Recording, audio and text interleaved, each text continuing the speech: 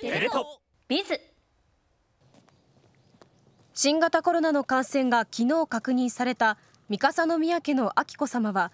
現在も京都府立医科大学病院に入院しています。三笠宮家を担当する宮内庁の責任者によりますと昨日は38度台の熱があり節々が痛い症状があったとしていましたが今日現在の様子は分からず入院されたままだとしています。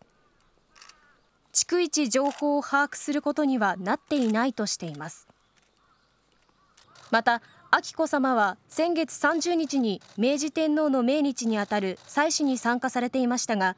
いつから京都を訪問されていたかは公表しないとしています。三笠宮家ではすでに百合子さま、陽子さまが感染し療養を終えられていました。また今回彬子さまの感染で接触があった陽子さまは今日 PCR 検査で陰性が確認されたため都内で開かれた催しに元気なお姿を見せました。